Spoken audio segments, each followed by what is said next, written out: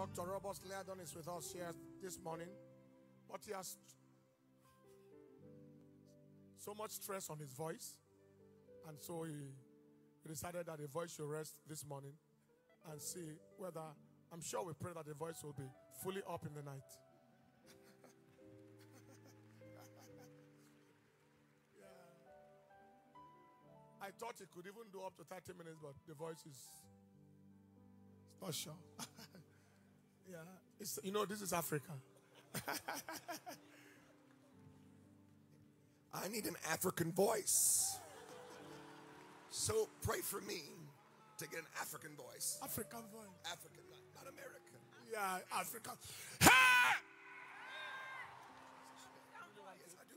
Yes. In the name of Jesus. Fresh power, freshness. Command that voice to open up completely. The name of Jesus.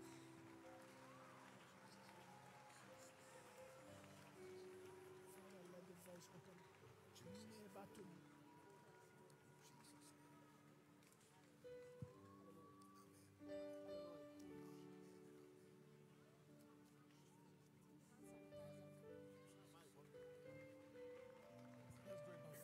Okay. Hallelujah. Hallelujah. Hallelujah. Hallelujah. Amen. Amen. Give the Lord a big clap of hand. Give the Lord a big clap of hand.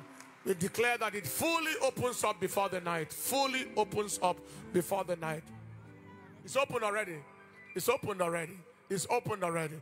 Give the Lord a shout, a shout, a shout, a shout of praise. You see, you don't know what you have. I think the heat here just the sun is too hot, so it melted everything that would destroy our voice. but just, just, just so rugged, just so rugged. Somebody say Amen. A louder Amen. Loudmost Amen. Amen. Pastor Amen. Amen. Amen. Give the Lord the praise. It is done.